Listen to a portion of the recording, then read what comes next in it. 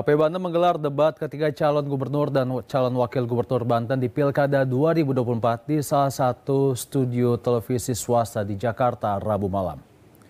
Dalam debat ini para calon gubernur Banten mengadu strategi, salah satunya dalam mengatasi pengangguran di Provinsi Banten yang masih tinggi.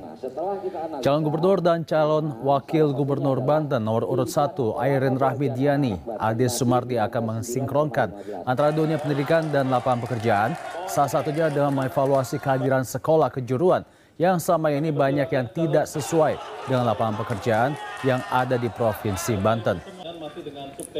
Sementara paslon gubernur dan wakil gubernur Banten nomor urut 2 Andra Soni Dimyati Natakusuma mengevaluasi banyaknya pabrik di Provinsi Banten yang kurang menyerap tenaga kerja lokal. Salah satunya penyebab karena pendidikan yang rendah sehingga mereka berjanji akan memprogramkan sekolah gratis. Debat ketiga merupakan debat pamukas yang difasilitasi oleh KPU Banten. Salah satu persoalan problem di Banten itu adalah sekolah menengah kejuruan.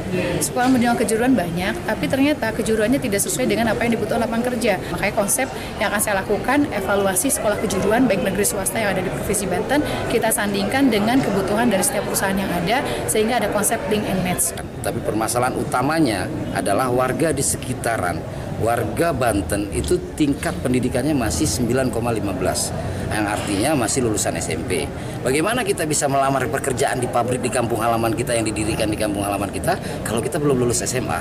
Kenapa kok nggak bisa lulus SMA? Karena sekolah negeri gratis, semua orang pengen sekolah gratis. Praktek-praktek pungli masih ada, sistem zonasi belum tepat dilaksanakan di Banten, mengakibatkan banyak anak-anak kita yang harusnya bisa sekolah melalui jalur afirmasi justru yang kaya-kaya sekolah di negeri.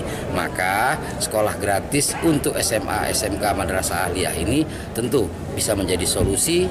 Hari ini telah melaksanakan debat yang ketiga. Debat ini bagian dari kegiatan kampanye yang difasilitasi oleh KPU Provinsi Banten.